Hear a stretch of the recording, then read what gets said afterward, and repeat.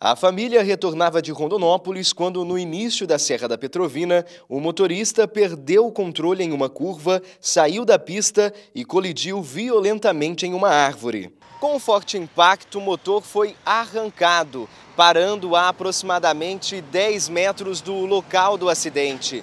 As vítimas, que são aqui de Alto Garças, não usavam cinto de segurança e ficaram presas às ferragens. No veículo estavam José Carlos Pelito, sua esposa Deucélia Regina da Silva, servidora pública, e a filha Rejane Alves de Carvalho. Todos morreram. O município decretou três dias de luto oficial.